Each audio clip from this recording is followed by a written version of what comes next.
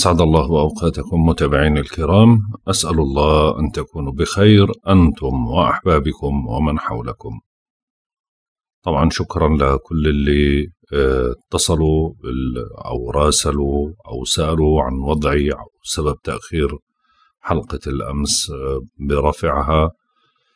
آه، طبعا هو في أكثر من سبب مع بعض إجوا مع بعض. أول إشي الوضع الصحي هذا واحد. شوي آه، كان في تعب واضطريت إني أخذت أدوية ثقيلة ومسكنات قوية جدا فاضطريت إنه آه، يعني النوم. هذا واحد. اثنين حتى لما صحيت زارني عطارد وأثاره سلبيه فسجلت الحلقة وجهزتها وعلى أساس أنه الأمور تمام ولكن للأسف الشديد طلعت بسجلش طلعت بحكي مع حالي فما زبطتش الأمور معي.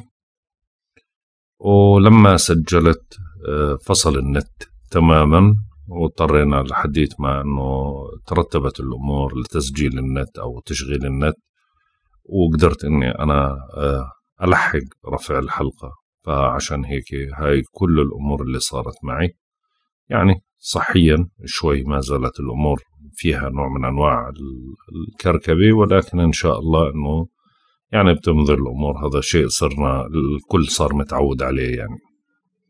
طيب خلينا نروح على الأسئلة قبل ما ندخل على توقعاتنا اليوم. اليوم كمان غير التوقعات في عنا انتقال المريخ اللي راح ينتقل لبرج الأسد. راح نحكي عنه ونحكي عن آثاره وتأثيره على جميع الأبراج. وفي نفس اللحظة خلينا نجاوب الآن عن بعض الأسئلة زي ما تعودوا الجميع. طبعا اللي ما بحب يسمع الأسئلة والأجوبة والمعلومات يعني مش ضروري إنه يسمع الحلقة كاملة. عادي يمشي هيك ويروح يسمع الأبراج. يعني نعتذر. منكم لأنه شوي بنرغي زيادة عن اللزوم إحنا في المقدمة بس في ناس بهمهم الرغي هاد. اللي بينزعج من الرغي والكلام اللي بشوفه مالوش فايدة أو مش مهتم في هذا الموضوع يسمع برجه شاف إنه الموضوع كله على بعضه ما بيعني عادي يعمل لي بلوك وما يتابعني برضو بنرحب فيه. كمان تنساش تحط dislike قبل ما تطلع. يعني على أساس إنه برضه تعمل لي تفاعل على القناة. إيه طيب خلينا نشوف الأسئلة ونشوف أول سؤال إيش معنى؟ أول إشي صباح الخير دكتور. اشرح لنا دكتور لما تكون شمسه في البيت السابع هل صحيح بيكون شريك قوي وعنيد؟ هل له ارتباطين بالحياة؟ طيب أول إشي أنا ما فهمتش السؤال ولكن هو تلقائيا أي برجين متقابلين يعني نحكي آه، حوت وعذراء آه، أسد آه، دلو عقرب ثور ممكن كأصدقاء بتوافقوا مع بعض يعني كمعارف وأصدقاء بصير في نوع من أنواع التوافق ما بينهم ولكن بصير خلاف إنه مين بده يسود على الثاني. فهاي بتسبب مشكلة. الآن كزواج العلاقة بتصير فيها نوع من أنواع الضعف كنسبة تقابل إحنا بنسميها ما بين الأبراج. ضعف بصل لنسبة على طول إحنا بنعطيه 50 ل 60% ضعف إلا في حال الكواكب الأساسية اللي هي القمر زهرة مريخ شكلوا زوايا إيجابية ما بينهم وبين بعض بنقول العلاقة ناجحة. ولكن إذا ما في تشكيل بنقول العلاقة فاشلة لأنه بتختلف طباع الشخصين.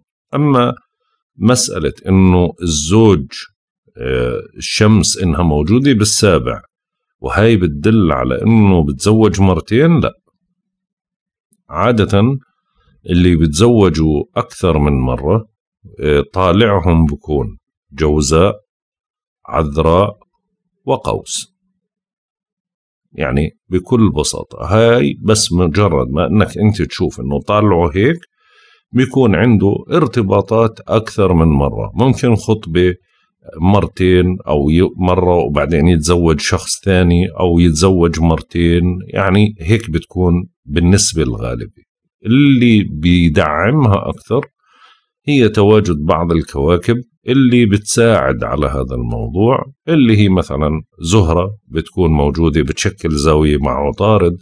عطارد في أحد البيت مثلا السابع تبعه بكون أو طالعه بكون فهذا بشجع على أنه يكون مزواج.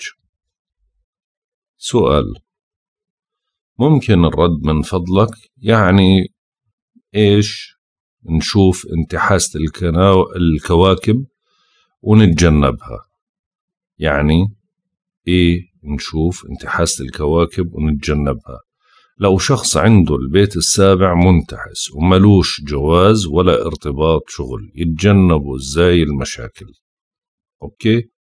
ولو شخص عنده المريخ منتحس وتعرض لحوادث كثيرة في جسمه يتجنبها إزاي؟ برضو. okay؟ وإزاي ما فيش علاج لانتحاس الكواكب؟ okay. طيب. نأخذ شق شق أو قسم قسم. يعني إيش انتحاس الكواكب ونتجنبها؟ يعني بمعنى آخر لما بصير في انتحاسي أو كوكب نحيس بدخل على البيت عادة أنا بعطي تحذيرات. بقول له انتبه من القيادة انتبه من آلام أسفل الظهر انتبه للي عندهم مشاكل بالقلب أو عندهم مشاكل بالصحة انتبه. يعني أنا بنبهك فمعناته احتاط. فهيك أنت بتتجنب انتحاسة الكواكب. ماشي؟ سوي شوي شوي. ما تأس... ما تعملش سرعة أثناء قيادة السيارة تعملش حوادث. انتبه. طبعا القدر واقع لا محالة لا أنا ولا أنت ولا أي شخص بيقدر يمنع قدر الله إذا مكتوب للشخص هذا يصير معاه حادث أو يمرض أو يدخل مستشفى. ولكن أنت وظيفتك تحتكم للعقل وتأخذ بالأسباب. هذا جانب. طيب لو شخص عنده البيت السابع منتحس وملوش جواز زواج وملوش ارتباط يعني شغل هاي مشكلة صحيح. بس برضو ربنا ما بقطع الأمل من هاي الأمور فعشان هيك في دورة فلكية بتخلي الشمس تيجي على البيت السابع تفتح مجالات للارتباط. القمر بيجي على البيت السابع بيفتح مجالات للارتباط. الزهرة كوكب الحظ الأصغر بيجي على البيت السابع بيفتح مجالات للارتباط. والمشتري بيجي على البيت السابع وبفتح مجالات للارتباط. ولو كان كوكب منتحس زي المريخ وشكل زاوية إيجابية ما بينه وبين الزهرة مثلا أو ما بينه وبين القمر أو ما بينه وبين المشتري بفتح مجالات للارتباط. ولكن عليك إنك أنت تكون أساسا بتطلع وبتشوف الناس وبتجامل الناس وعندك قابلية لهذا الأمر ومقنع نفسك أنه أنت جاهز للارتباط فربنا بيسر الأمر. اعقد النية على الأمر وما تتشائم من الأمر. يعني خذ برضو بالأسباب. إجا النصيب ربنا كاتب. ما إجا النصيب. ربنا مش كاتب. ولكن أنت عليك تأخذ بالأسباب وما تعيش بالإحباط. هذا واحد. لو شخص عنده المريخ منتحس. ماشي. المريخ منتحس وين؟ في كل البيوت. يعني منتحس في البيت السادس. بيجيب له ألام ظهر. ولكن المريخ مش طول السنة منتحس. ومش بكل السنة موجود في البيت السادس. ومش في كل السنة بشكل زوايا سلبية ومش في كل السنة راح يجيب لك مشاكل صحية.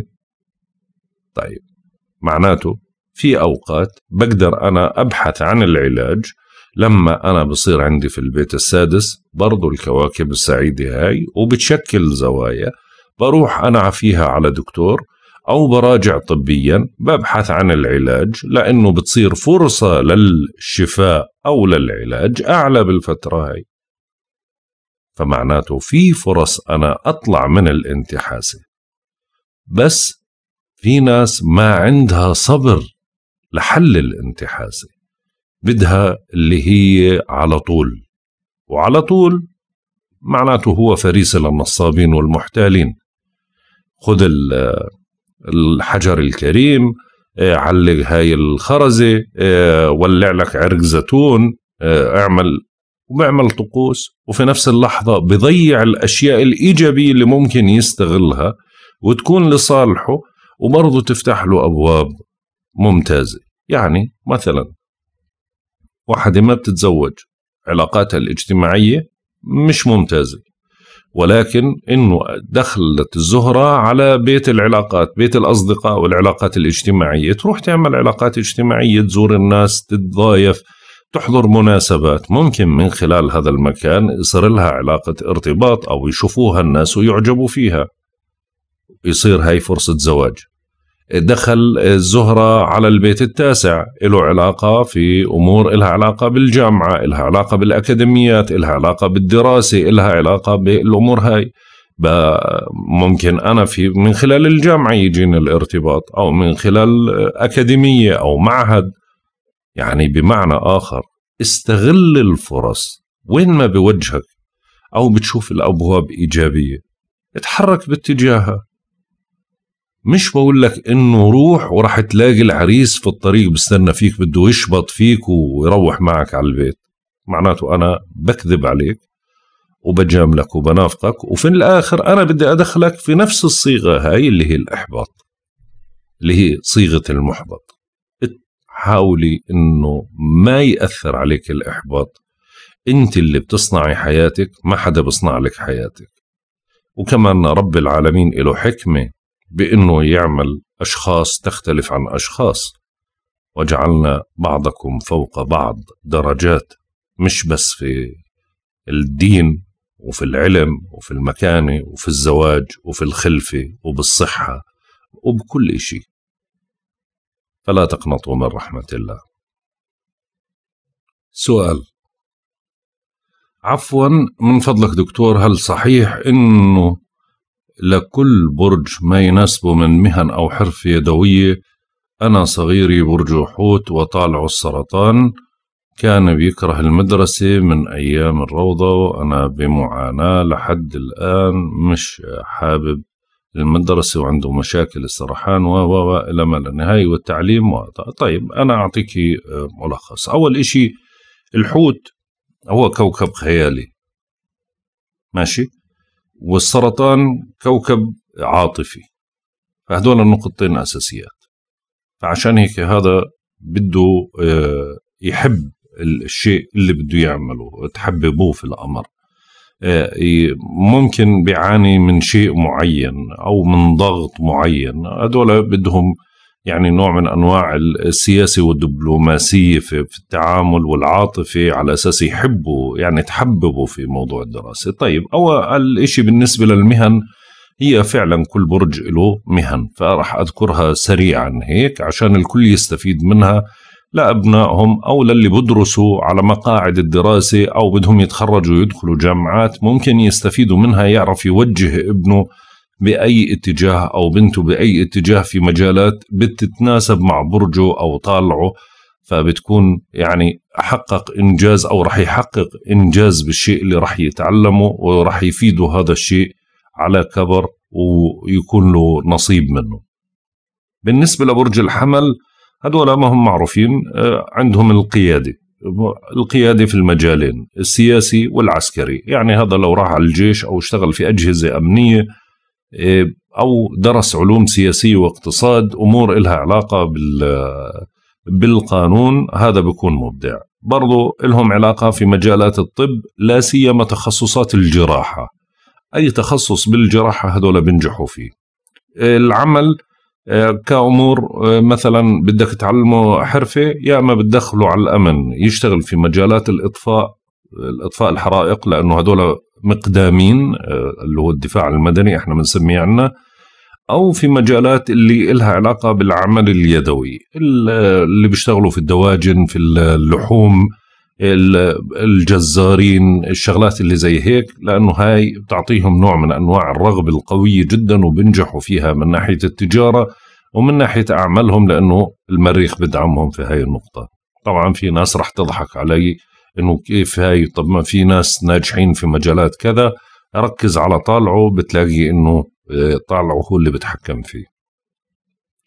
اللي برجوا الثور وطالعوا الثور هذول بينجحوا في أشياء لها علاقة بتربية وبيع الزهور العمل السينمائي والمسرحي التلفزيوني صاحب بوتيك للألبسة الصرافة الصياغة هاي المجالات اللي بيبدعوا فيها.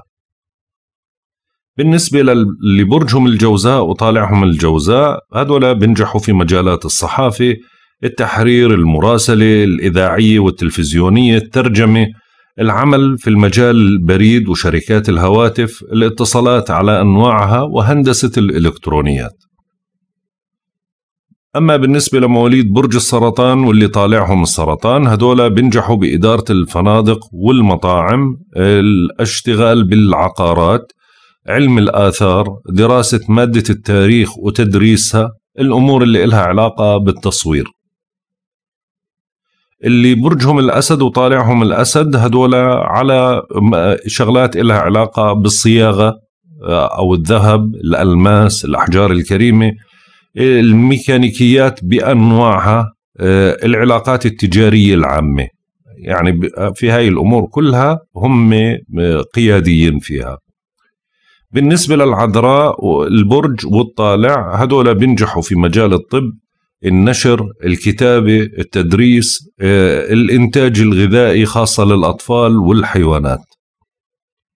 أما بالنسبة للميزان واللي طالعهم الميزان القضاء المحاماة الأزياء الفنون السلك الدبلوماسي التصميم التمثيل السينمائي والمسرحي.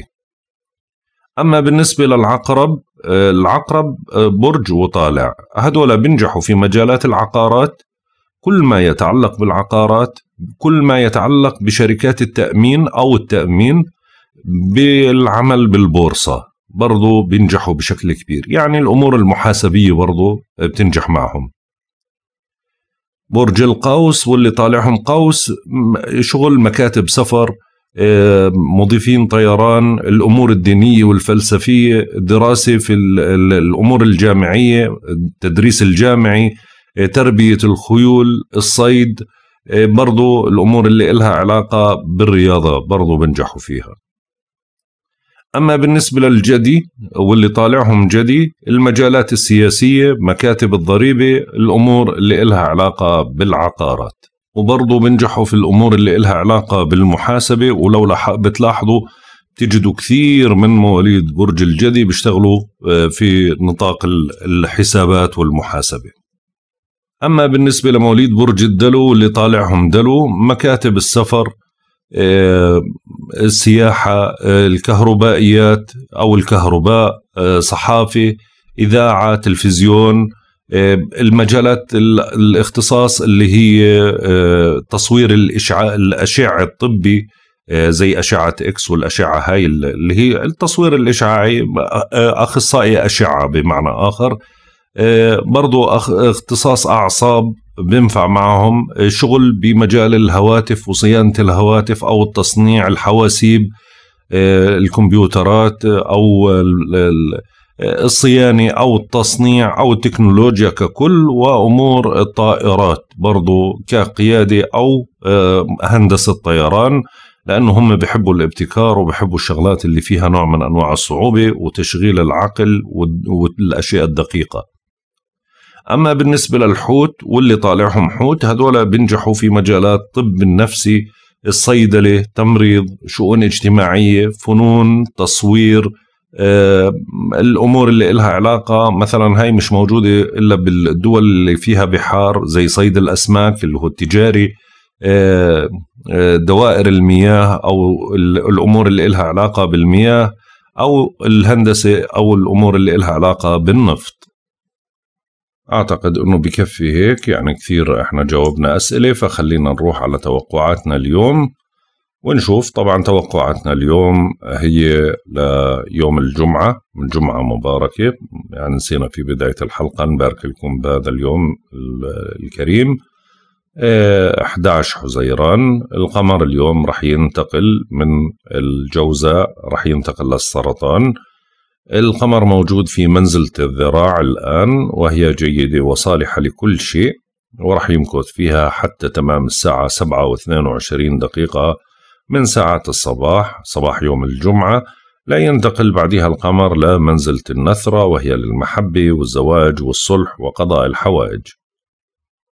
طبعا القمر حكينا إنه لما بيكون موجود بالجوزاء وهو موجود لغاية ساعات الصباح في الجوزاء فتأثيره إنه بالفترة هاي برضو بننشط في اتصالاتنا بنشعر بعنصر الحركة بيلعب دور ملحوظ في حياتنا اليومية. وبيتقلب الناس من حولنا في أفكارهم وتصرفاتهم أكثر من المعتاد وبيصعب تصديق كل وعد أو كلمة تقال. علينا إنجاز اتصالاتنا الهامة من رسائل ومكالمات وغيرها وبوسعنا أيضا الانضمام لدورة دراسية أو تعلم لغة جديدة أو الانضمام لعضوية نادي. طبعا إحنا الآن بدأنا في مرحلة خلو المسار أو هي يعني ساعات بسيطة من بعد بث الحلقة رح ندخل في مرحلة خلو المسار ورح تستمر أو يستمر خلو المسار للساعة 7 و22 دقيقة صباحا. هو بيبدأ الساعة 5 و37 دقيقة مساء بتوقيت غرينتش يعني بعد موعد بث الحلقة تقريبا بساعتين. ولكن إنه برضه هو راح يستمر لغاية ساعات الصباح للساعة 7 و22 دقيقة صباحا وهذا بيعني إنه الفترة المذكورة لا تصلح للبدء بأي عمل جديد أو مهم مثل توقيع عقد أو خطوبة أو زواج أو شراء شيء ثمين بل إكمال العمل اللي بدأنا فيه قبل خلو المسار. طبعا في فترة خلو المسار في عنا زاوية راح ترجع تتشكل مرة ثانية ومرة ثالثة يعني هاي تعتبر المرة الثانية لها هي زاوية اقتران إيجابية بطيئة بين الشمس وبين عطارد. طبعا عطارد لأنه بتراجع. رجع شكلها مرة ثانية. وهاي راح تكون في تمام الساعة واحدة و22 دقيقة و12 دقيقة صباحا. دائما عند هذا حدوث هذا الاتصال بتتعزز قدرتنا الفكرية وبتسهل علينا فهم مواضيع علمية صعبة وبيتعذر أو تعذر فهمها بالفترات الماضية. وبرضه بيزداد التوجه لإجراء اتصالات أو تنقلات أو سفريات ضرورية ولكن إنه اللي بيصير عندهم هذا الشيء أو بيضطروا لهذا الشيء بدهم يحذروا على الطرقات الفترة هاي وينتبهوا وما يتسرعوا ويتفقدوا سياراتهم أو وسائل النقل قبل ما يطلعوا فيها. طبعا القمر زي ما حكينا إنه رح ينتقل ويستقر في السرطان الساعة 7 و22 دقيقة صباحا. فعشان هيك بتغير مزاجنا بنشعر بهاي الفترة بقوة العاطفة ومنحاول خلق جو من الأمان إلنا ولأحبائنا منميل لعمل أشياء بتريحنا. من ناحية أخرى بتراودنا بعض الذكريات ومنا من يذرف الدموع وهو يقلب صور تذكارية في ألبومه. يجب أن ننتبه أكثر لطعامنا وشرابنا لأنه في الفترة هاي نشعر بحافز كبير لالتهام الطعام أكثر من المعتاد. علينا تجنب انتقاد الغير نظرا لأنه بتكون حساسيتهم بأوجها فممكن يتحسسوا أو يعني يصير في زعل عندهم. موسعنا آه، بالفترة هاي الاهتمام بمسائل لها علاقة بالعقارات وزراعة نبتة ماء أو شجيرة الانتباه أكثر لأطفالنا وقضاء وقت ممتع في البيت. طبعا بالنسبة للزاوية اللي راح تتشكل ما بعد الانتهاء من خلو المسار والانتقال هي زاوية تثليث إيجابية وهي راح تكون بين القمر وبين المشتري. وراح تكون في تمام الساعة 11 و27 دقيقة ظهرا. بنهتم بشكل كبير بمشاكل ومتاعب الآخرين من حولنا كأنها مشاكلنا إحنا ومنحاول إنه نساعدهم قدر الإمكان يعني زي عمل إنساني. وبتلوح الفرصة للتحصيل على مكسب مالي وبتساعدنا في تعزيز الروابط العائلية. طبعا آه، راح يصير في آه، انتقال المريخ بعد هاي الزاوية يعني الساعة هاي بتكون الساعة واحدة وثلاثة وثلاثين دقيقة بعد الظهر. الانتقال طبعا راح يكون من السرطان للأسد يعني من برج ماي لبرج ناري وراح المريخ يظل في حركة أمامية وراح يستمر مكوثه في برج الأسد ليوم 29 سبعة لساعات المساء. خلال الفترة المذكورة بشعروا مواليد برج الأسد طاقة ونشاط جراءة رغبة جنسية زيادة بيستفيد معهم في ذلك مواليد الأبراج النارية الأخرى زي الحمل القوس والأبراج الهوائية اللي هم الجوزاء والميزان والدلو واللي بيولد وعنده المريخ موجود في برج الأسد. طبعا من صفاته هذا الشخص لما بيكون آه، مريخه بالأسد لما بنولد بيكون آه، قيادي ما بيخشى المنافسة الشريفة بهمه الحصول على مركز قوي في المجتمع.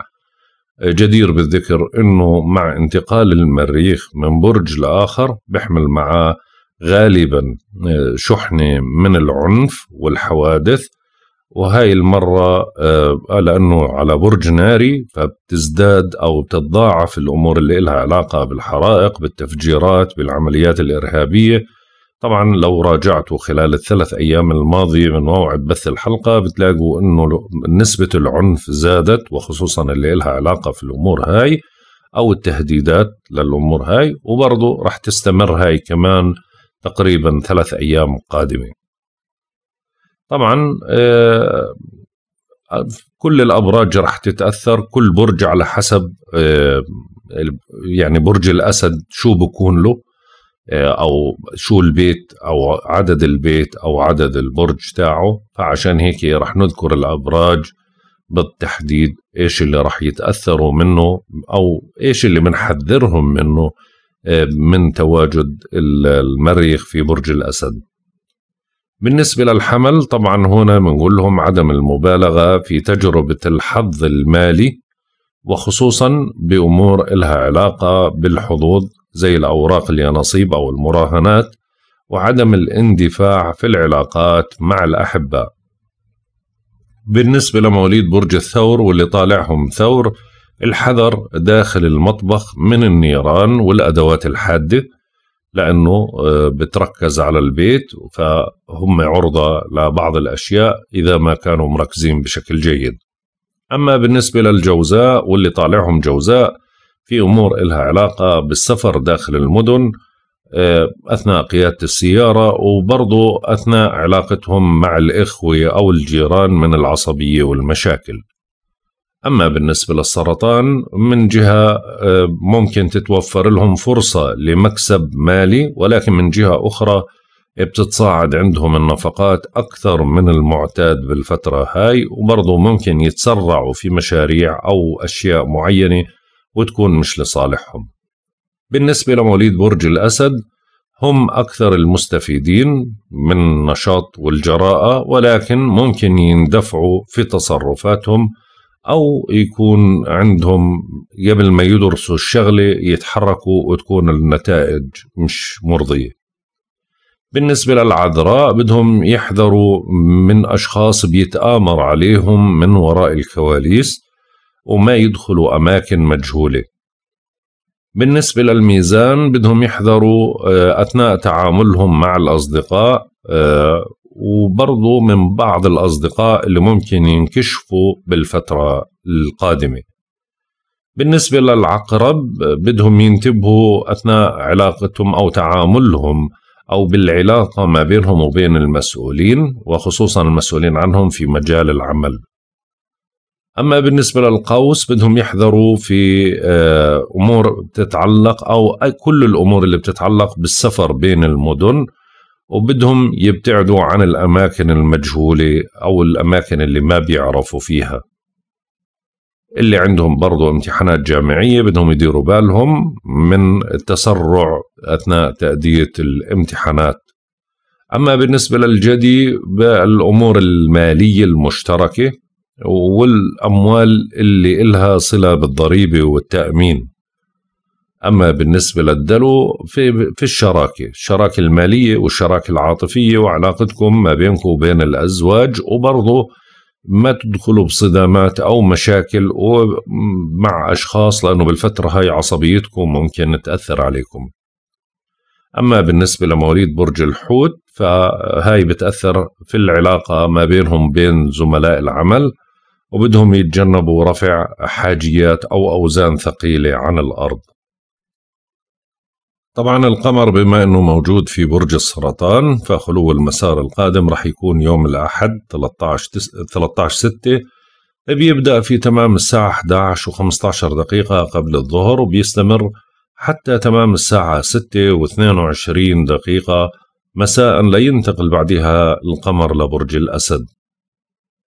أما بالنسبة لعمر القمر عمر القمر القمر الجديد الهلال عمره يوم في تمام الساعة ثلاثة ودقيقتين صباحا بيصبح يومين نسبة الإضاءة بتصير ثلاثة في المية.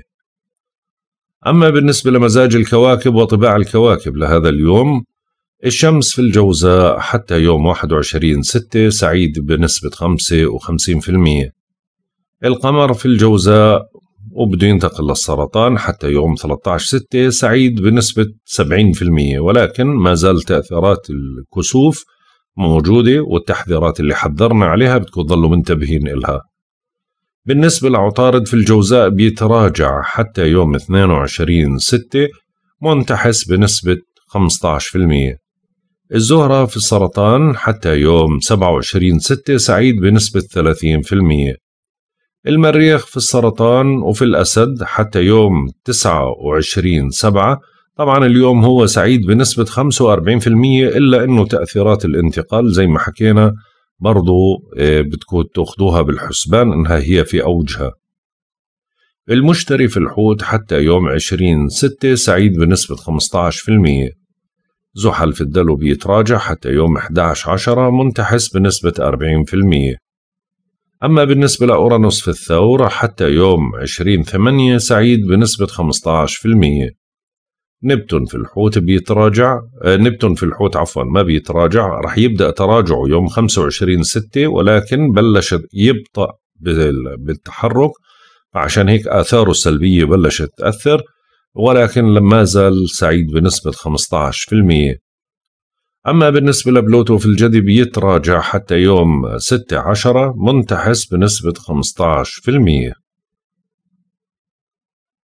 وصلنا للتوقعات اليومية. برج الحمل.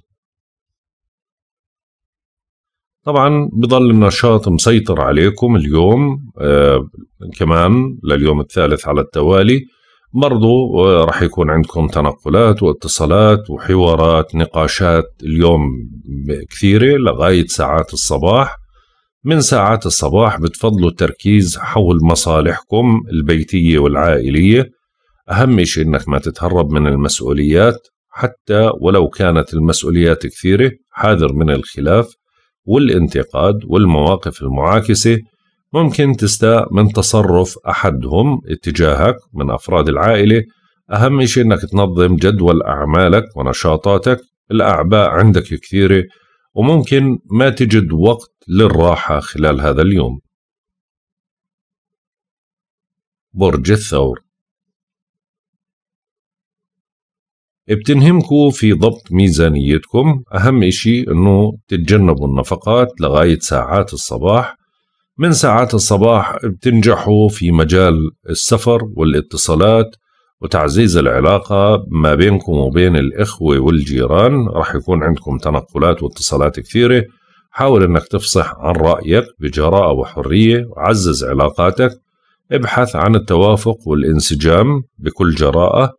ممكن تضطر لدفع مبلغ طارئ من المال. أهم شيء أنك تحاذر من إهمال الوضع الصحي وتتجنب الإرهاق. برج الجوزاء. أنتم قادرون على مواجهة مشاغلكم وإنجاز الكثير منها لغاية ساعات الصباح. من ساعات الصباح طبعا بتعيدوا تنظيم ميزانيتكم. اتجنبوا النفقات قدر الإمكان. نظموا الأقساط. ما تسمحوا لها بالتراكم. فكر بمنطق وعالج الأمور الطارئة فورا. ممكن اليوم تحدد توجهاتك الفكرية والاجتماعية وحتى السياسية وهذا الإشي أنا بنصح فيه. وممكن اليوم آه، لقاءاتك هيك يكون فيها نوع من أنواع الدعم. لا إلك. برج السرطان. كل التعب هذا اللي أنتم حاسين فيه والتراجع اللي حاسين فيه خلال اليوم ولغاية ساعات الصباح. طبعا هذا كله بيبدأ يتلاشى كل ما اقتربنا لساعات الصباح. من ساعات الصباح بتمتلئ نشاط وحيوية. ممكن اليوم تعيش لحظات شيقة وحافلة بالأخبار والتطورات. وممكن تتلقى إشارة أو تبدأ بتنفيذ خططك اليوم. بتستعيد حياتك رونقها وحيويتها. برج الأسد. طبعا أنت مقدم على أيام شوي ضاغطة بسبب تواجد القمر أو انتقال القمر اللي راح يصير في السرطان. بيت متاعبك. فعشان هيك بضل النشاط الاجتماعي وفرصة لإنجاز أعمالك لغاية ساعات الصباح. من ساعات الصباح طبعا راح تدخلوا فترة غير مريحة بتنال من صحتكم وأعصابكم وبتسجل هاي الفترة نوع من أنواع الركود على جميع الأصعدة. بنصحك بعدم المباشرة بتنفيذ كثير من الأشياء الضرورية بالفترة هاي. حاول إنك الأشياء اللي بين إيديك بس تحاول تنجزها. اتخلص بهاي الفترة من عاداتك القديمة وانشغل فقط بالمسائل الروتينية وحاول إنك تدير بالك لأنه الفترة هاي فيها كثير تأخير. برج العذراء. حافظوا على سمعتكم وإنجازاتكم القائمة في مجال العمل لغاية ساعات الصباح. من ساعات الصباح رح تنشطوا ما بين الأصدقاء ورح تشوف الأمور بوضوح وبنظرة متفائلة أكثر.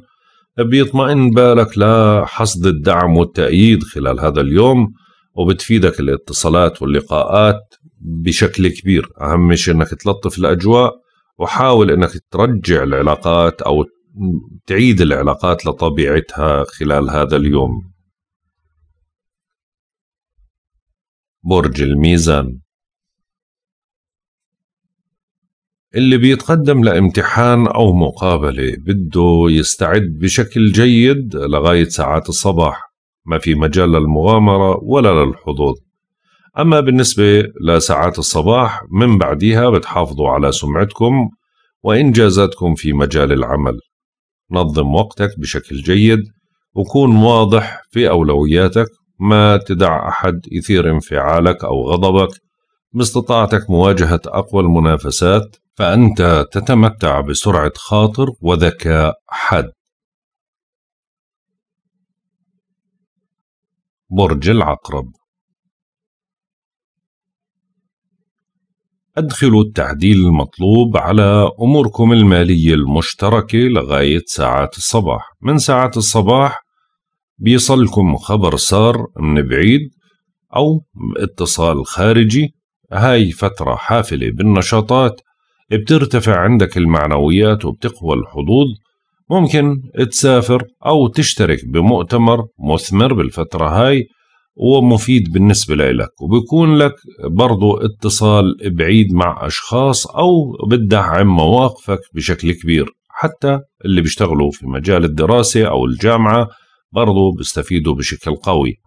ممكن تلتقي ببعض الأشخاص حول طاولة حوار للتفاوض وبرضو عندك القدرة أنك تعالج كثير من المسائل هذا النهار.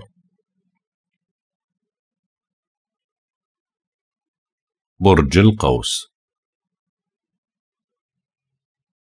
بوسعكم تعزيز شراكاتكم سواء في العمل أو في العاطفة حتى ساعات الصباح. ولكن من ساعات الصباح بتعيدوا ضبط أموركم المالية المشتركة. باستطاعتك تقديم أفضل النتائج شرط التحلي بالهدوء والليونة والصبر. بينتظرك حل منصف شرط التفاوض بموضوعية. عدل أولوياتك إذا دعت الحاجة ودقق في التفاصيل قدر الإمكان. برج الجدي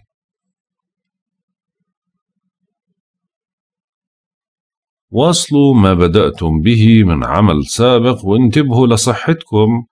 من الآن لغاية ساعات الصباح. من ساعات الصباح طبعا بتتغير الأجواء بتنجحوا بتعزيز شراكاتكم.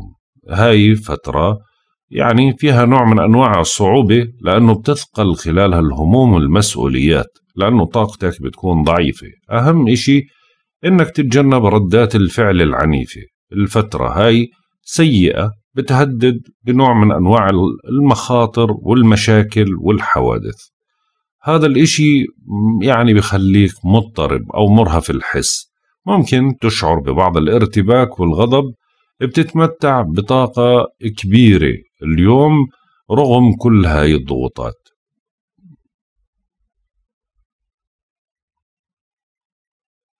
برج الدلو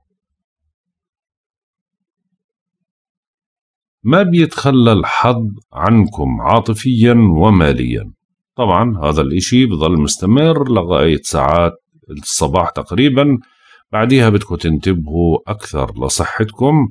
بدك تكون عنصر إيجابي وما تتسبب بالنفور للأشخاص اللي أنت بتتعامل معهم أو الأشخاص اللي حواليك.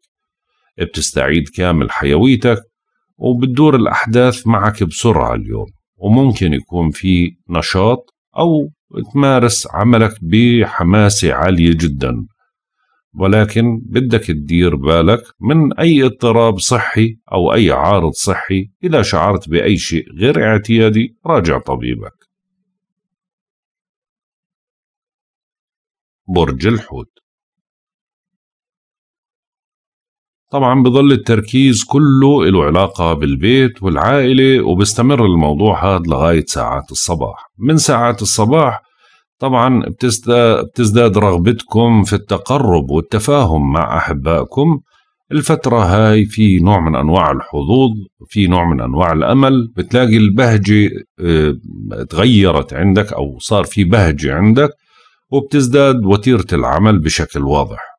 حاول معالجة الأمور بروية مبتعد عن التعقيدات.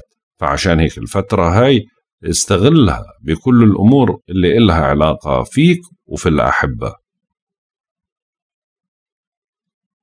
هيك بنكون انتهينا من توقعاتنا لهذا اليوم. والله أعلم.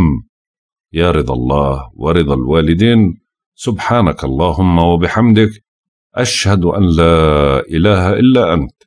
أستغفرك وأتوب إليك. أترككم في رعاية الله وحفظه. إلى اللقاء.